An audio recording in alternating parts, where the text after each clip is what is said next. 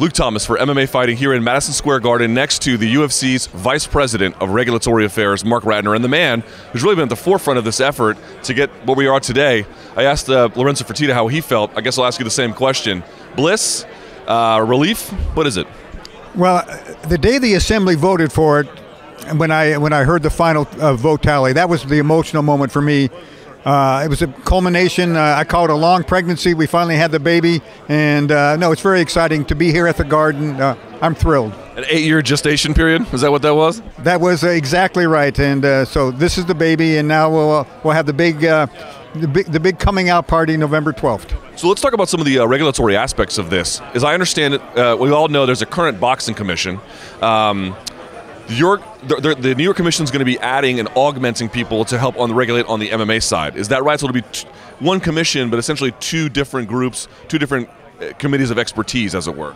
Well, uh, we're meeting uh, with the commission and uh, Chairman Hoover uh, later on today, and I'll, I'll know more about it. But I, I do don't, do know they are, are adding some MMA people. So, and if the math is correct, the state can start sanctioning events September one, as I understand it. Is that your understanding as well?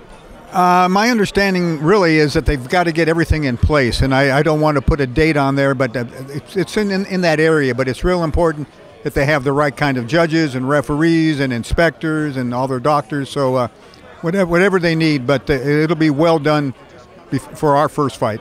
Um, to what extent will the UFC and you, obviously with the background as a regulator, be providing guidance for that commission? Uh, whatever they need, and today's the first meeting with them, and uh, if I need to come up here at any time, I shall but uh, they're they have a real good commission, so I'm not concerned about that at all. You know, I've, I've people from Jersey tell me, well, now that MMA is legal in New York, when is the UFC going to go back to Jersey? Now, I don't mean as a scheduling issue, but there is sort of one interesting part about that. The Jersey Commission is one of the better commissions in the country, but at the forefront of the MMA uh, legalization efforts um, and and pushing the boundaries of um, proper testing and scoring and everything else. Is MMA better served still going to Jersey? I mean, I know it's a question where they're going to go to New York no matter what, but I guess I'm just wondering your response to people from Jersey who are saying MMA is really well regulated here. Uh, Commissioner Hazzard and uh, Nick Lembo are as good a regulators as there are in the, in the probably in the world, and uh, we'll never forsake uh, New Jersey. There'll be times we're going to be here in New York, but uh, New Jersey is very important to us too. I asked Lorenzo Fertitta about this. I'll ask you as well. We, we don't know a lot about what happened in Ireland last weekend with the death of uh, Carvalho. But I guess I'm just wondering when you, as a regulator or a former regulator, and now sort of working to make MMA what it is in the state of New York like this, when you see something like that, what is your response to it? Because it, it affects you in ways it, it, uniquely doesn't affect other competitors. Well, I, I my heart goes out to uh, when these things happen. I've, I've been through this in boxing but my first question is: uh, Were there any pre-existing medical conditions? Was there any problem in sparring? That uh, was there a knockout earlier uh, when he was when he was practicing? So there's a lot of questions, and uh, but nevertheless, it's a it's a just a horrible thing, and I, I feel very bad.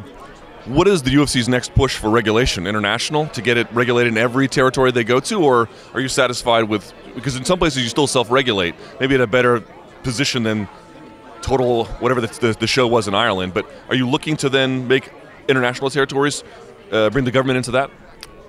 Uh, I would rather not self-regulate. I mean, we, we, we just came from Croatia where uh, we were self-regulating.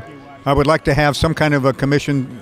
And it might be just IMMAF, the International MMA Federation, to start getting a bigger, bigger part. But um, we want to grow the sport. Uh, we haven't been to France. We haven't been to Italy. So uh, some of those places are on the uh, horizon, but um, uh, we just need to get it properly regulated throughout the world. And I notice you're wearing, I think it's an Australia button. Why the Australia button here in New York? Uh, I don't have a New York button yet, but I, but I will. Uh, I've, I've had the Australia button on this coat for a while, and uh, uh, but th- that'll be the next one. We'll have a New York button made.